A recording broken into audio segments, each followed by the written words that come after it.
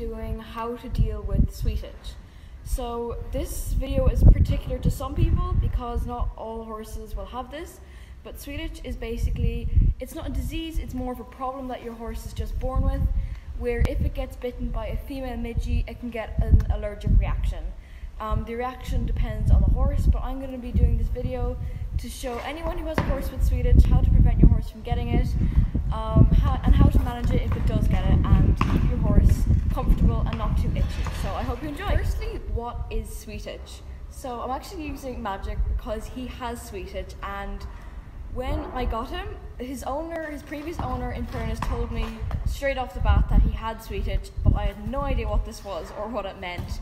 So I thought I'd do a bit of a tutorial just to show you guys um, how to deal with sweet itch and what it is so you are prepared for the future or if you're looking at a horse to buy and he has sweet itch, that it's definitely not a reason not to get it, but um, just some things that you'll need to get for your horse or to do for your horse, especially during the summer when the midges come out to prevent him from getting sweet itch and just to make sure that he's not too uncomfortable. So you can actually see that he is itching.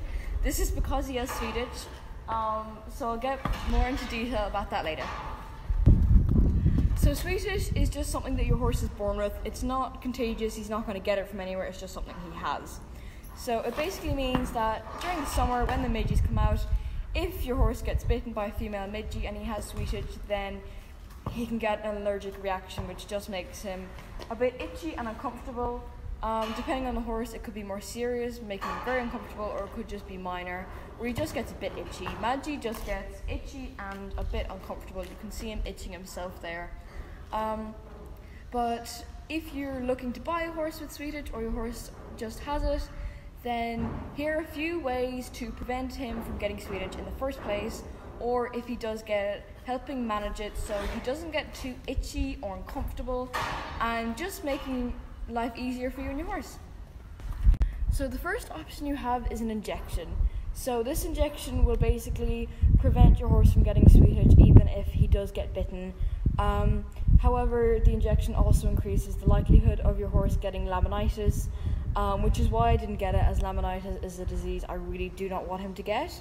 And if there were other methods that I could use to help him with sweet itch, then I would rather use those than get the injection. So here's some of those other methods. So the next option you have is to get a fly rug and a fly hood.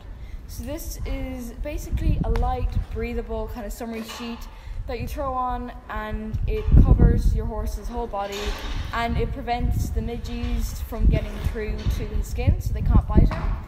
Um, you can find these in your local tack, tack shop or you can order them online. I just find it really effective and so simple. You just have to throw it on and it prevents all the midges. So if you are um, thorough and you put it on for your horse from May till September, basically when the midges come and go, then this can really prevent your horse from getting sweet itch at all. Uh, so this is what I use. I actually don't have the rug and hood on him right now because I'm going to ride him later, so I took it off. But after I've ridden him, I will show you guys a video of what it looks like. Mine is a bit worn and torn because he's been itching it. But yeah, you can just pick one up anywhere and they shouldn't be too expensive.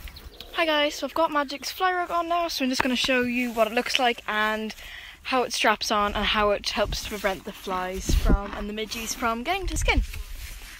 So as you can see, it just goes all over his body. Um, plenty of straps. Uh, mine's a bit worn and torn, but um, so I probably have to get a new one, but they're not too expensive, so I'm not too bothered. Um, and yeah, it just pretty much protects him from all the flies and um, just makes life a lot easier for him. Um, usually he does have his fly hood on, but that's just getting a wash right now, so I don't have it on. That's why.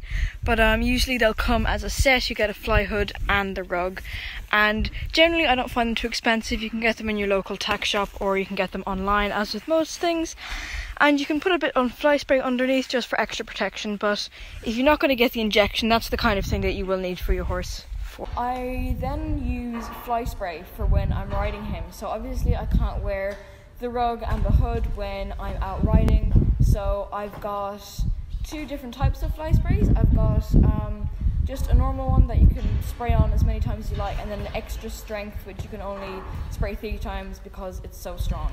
Uh, so if your horse has sweet itch, even if it doesn't have sweet itch, I would recommend getting some of these just so that your horse isn't constantly bothered by the flies. Uh, you can even spray it on yourself too, just to keep them away. And this just helps when I can't wear the rope when I'm riding him. Just it keeps it helps keeps the midges and the flies away. And again, it can be found in your local tap, tack shop or found online. So another one I've heard, which sounds kind of strange. I haven't tried this, but I probably will um, is to use garlic because apparently midges and flies don't like garlic for whatever reason. So apparently you can just squeeze some crushed garlic into their feed and mix it up, or you can buy like a garlic lick from Likit or whatever. Um, and apparently will help keep it away. So I will try this and get back to you on whether I find it works or not. But um, anything, I will, I'll try anything to help um, him get nice and comfortable and keep the flies away from him. So I'm sure there are other methods or ways to help with your horse and their sweet itch, but these are the ones that I know and the ones that I use, so I hope they were useful. Um, if you are looking to buy a horse or you have one that has sweet itch, it is definitely not a reason not to buy a horse. I've only been introduced to it within the last year, so I'm not an expert but it's just a little bit of extra work and a few other pieces of equipment that you need to buy. So it's really not that expensive or anything, or it's not that hard labor. Um, but and the symptoms only really last from May to September when the midges come and when they leave, as that's when they're affected. And the only long lasting symptoms are just that he can rub out his tail and his mane a bit, which just results in a bit of a patchy mane and tail. But they do need to itch, and there's nothing you can do about it if your horse does get sweet itch, just to make it a little more comfortable. So I hope that these methods did help you, um, and that this short little video helped with sweet itch. Can you stop licking the chair, creep? Don't bite the bucket. Okay. Or something. So I hope you enjoyed this video and found it useful. Um, if you did, please like and subscribe and comment down below for new ideas for a video or vlog.